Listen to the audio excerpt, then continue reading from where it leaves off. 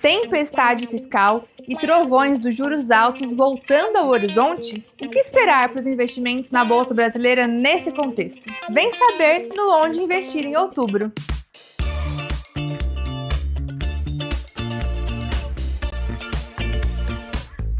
Após um mês de agosto bastante positivo para a Bolsa Brasileira, setembro foi marcado por uma performance negativa para o Ibovespa. Isso porque voltamos a observar a luz amarela sobre a percepção de risco fiscal por aqui, com destaque para a perda da credibilidade das regras orçamentárias e do controle de gastos no país. Outro fator que impactou o desempenho da bolsa foi o início do ciclo de alta da taxa Selic. Afinal, períodos de elevação de juros tendem a impactar as ações de diversas maneiras.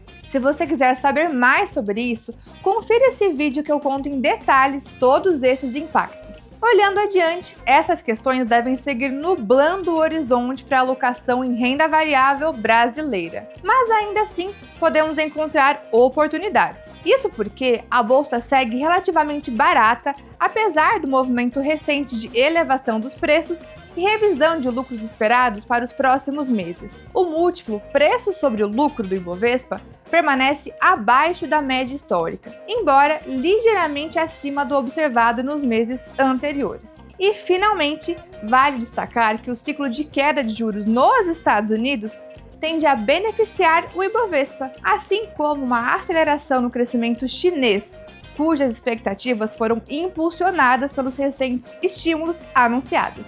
E nesse cenário, o clima é de sol entre nuvens para a renda variável brasileira.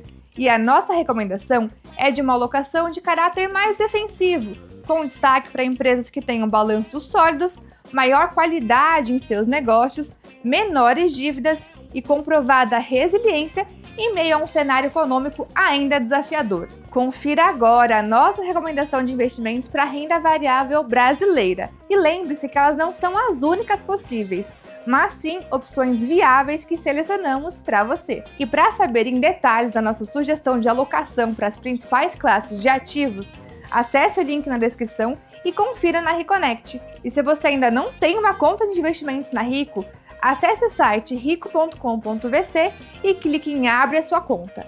Daí para frente o processo é simples e rápido, e a Rico é só vantagem para quem investe. Até o próximo Onde Investir. Tchau! Rico.